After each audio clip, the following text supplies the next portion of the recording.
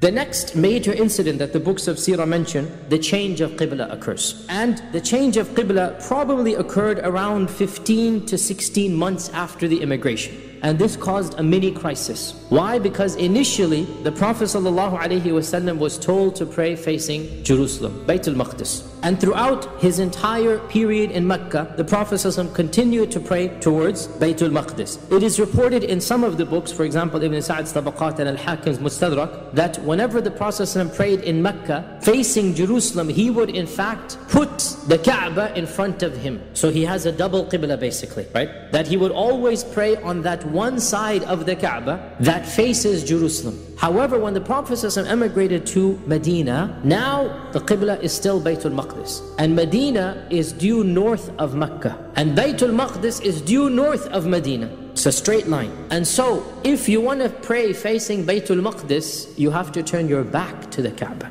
But it is still a part of the Sharia. So the Muslims were praying facing Baytul Maqdis. And it is narrated that once when Jibreel came down with some Quran, the Prophet ﷺ expressed his hope to Jibreel that, Oh Jibreel, I wish to pray facing Mecca. He even told this to Jibreel. And Jibreel said that, I am an abd just like you. And I only come with the amr of Allah Azza wa I can't help you out here. If you want this, make dua to Allah subhanahu wa ta'ala. So the Prophet ﷺ began making dua earnestly in tahajjud at night in the day. So much so that he was looking up to the sky. And looking up to the sky is only done in du'as at times of extreme distress. But he did it at night when nobody was looking. How do we know he did it? Because Allah revealed it in the Quran. We have seen تَقَلُّبَ وَجْهِكَ Your face turning up fi sama, always looking up to the skies. You're always looking up, making dua to Allah. فَلَنُوَلِّيَنَّكَ قِبْلَةً تَرْضَاهَا So let it be decreed, we will face you in a direction that you want that shall please you.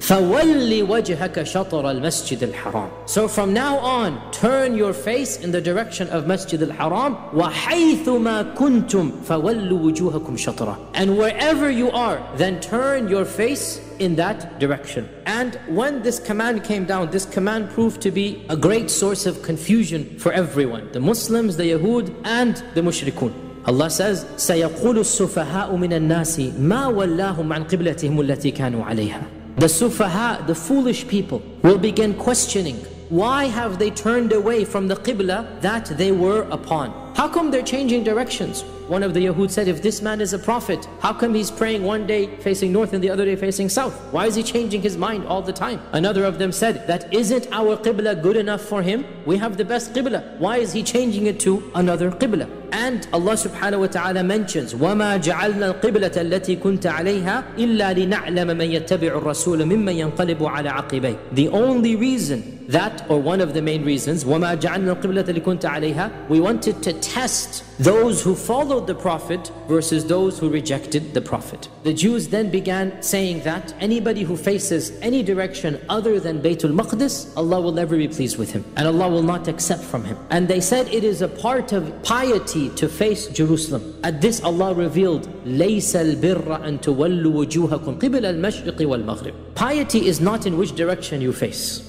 ولكن البر من آمن بالله واليوم الآخر Real piety is what's inside. The spirituality to believe in Allah and the final day. And to give to the poor. And to, Allah Azza wa mentions a whole list of good deeds. Right?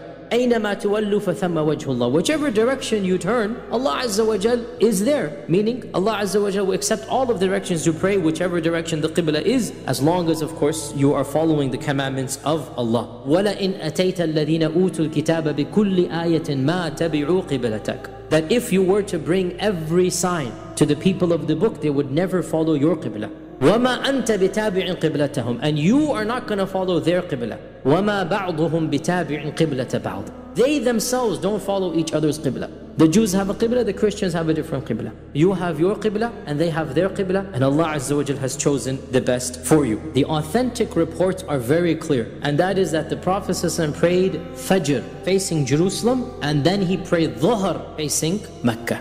So the commandments came down in the early morning. And so what used to be the front of the masjid became the back of the masjid. And the Prophet ﷺ then went to what was the back And from henceforth it became the front until he passed away wasallam. Now, those people who prayed dhuhr in the masjid, they went back to their homes. And one of them reached the famous masjid that we now call Masjidul Qiblatain. The Sahabi prayed dhuhr in the Prophet's masjid and he strolled back, maybe he did some other errands. By the time he got back home, they were already praying Asr. So when he saw them praying Asr, he was shocked because he wanted to get there before to tell them. But they're in the middle of the prayer. So he cried out from the back of the masjid that, O people of the masjid, I have just come from the Prophet's masjid and I prayed with him dhuhr and he was praying facing Mecca. The command has come to pray facing Mecca. So this was the masjid, Masjid Qiblatain, the imam of that masjid and the sahaba in that masjid, and they're all sahaba. That was the masjid where they turned around and the imam walked straight through the entire sufuf and everybody basically turned around where they were, right? And that's why it was called Masjid Qiblatain.